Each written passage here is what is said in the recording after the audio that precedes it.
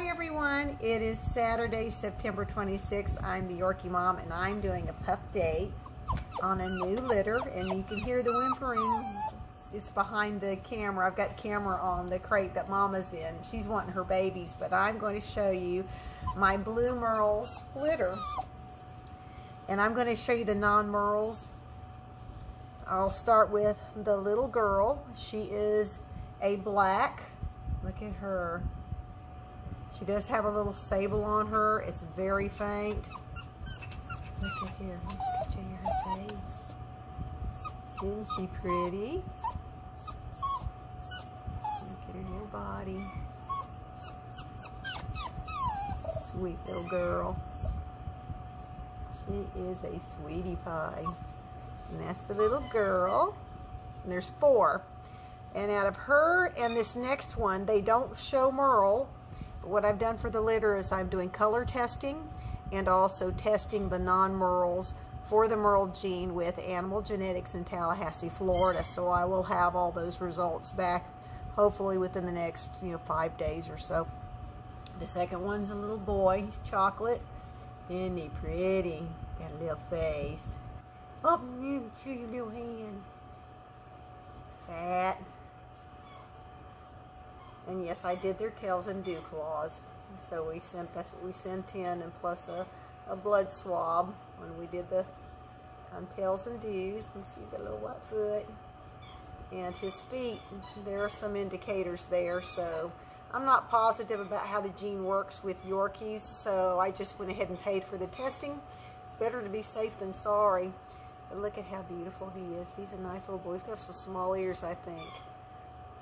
There's him. And then the next ones are my Merles. And I'll show you the boy. He has got some slight traditional markings, I think, in him. I don't know. I mean, the Merle goes all the way down. I would think it's the traditional looks like right in here. See how that looks? Yes. Oh, that is an actual um, self-defense reaction is the yawning. They'll open their mouths as a way to protect themselves. It's pretty cool, isn't it? Here's his markings. They're really pretty. You see that?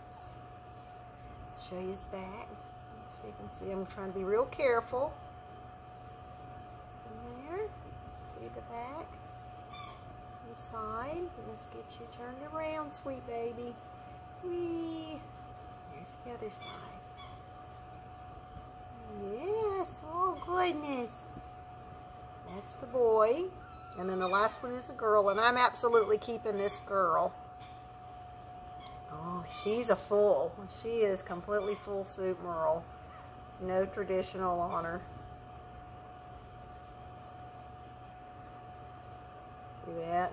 All the way down. oh, all the way down.